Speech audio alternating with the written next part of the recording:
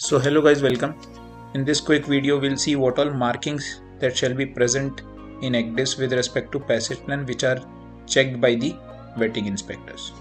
So here I have listed out markings which I believe are minimum markings that shall be present on ECDIS when you are appearing for any vetting PSC or CDI and on top of these if you want to add on some other markings of course that is obviously a better thing to do. Let's start. So generally a third party inspector when they come on board they will check your arrival port markings. They do not check departure port marking most of the time unless your departure and arrival ports are very close by. So make sure at least these markings are present on your arrival ports. Then make sure that you have no-go area marking in your chart and these one hour notice to engine room and call master points. These also shall be marked. Also port call points and the channel on which they have to be called. These also shall be marked and same to be recorded in your deck logbook or VHF logbook. Call master end of sea passage security level watch keeping level and position fixing interval.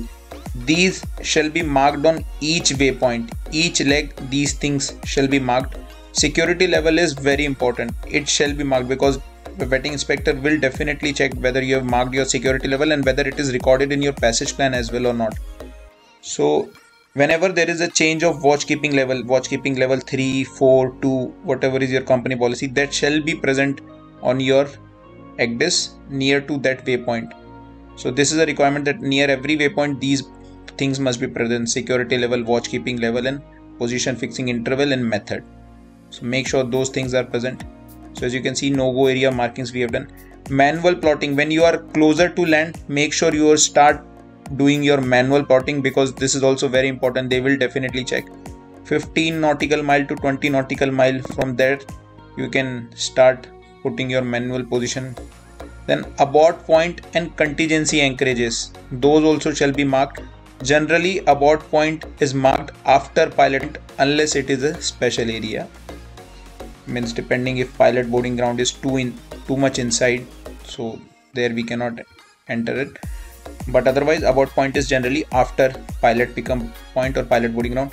Make sure pi lines are marked on each waypoint. When we are close to land pi shall be marked on each waypoint. Then as you can see keep clear we have marked over here. This pi line is very important. I've seen generally vetting inspector focusing on that. So make sure pi line is there. Radar conspicuous objects if they are or area or land that shall be marked. So here also you can see i have marked pi so in each waypoint closer to land i'm marking pi that is a big remark because they would definitely check this. And other than that this normal no go area and all.